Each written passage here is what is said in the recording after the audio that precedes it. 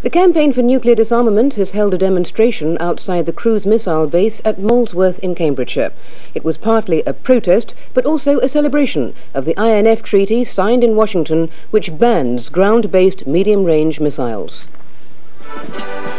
For the hundreds of CND supporters who turned up at Molesworth, it was as much a chance to meet old friends as to protest against the base's cruise missiles. Under the terms of the new INF treaty signed in Washington last week, they'll be removed in due course. So to many it seemed that at last the superpowers were playing their tune. CND's chairman Bruce Kent hailed the new treaty as a victory for years of anti-nuclear protest all the things are now being said by both the leaders of superpowers are the things that we've been saying for 10 years. So would you please pat your neighbour on the back? Thank you very much. Then it was time to open the champagne. They're looking forward now to next year's proposed summit in Moscow. And as far as they're concerned, the sky's the limit.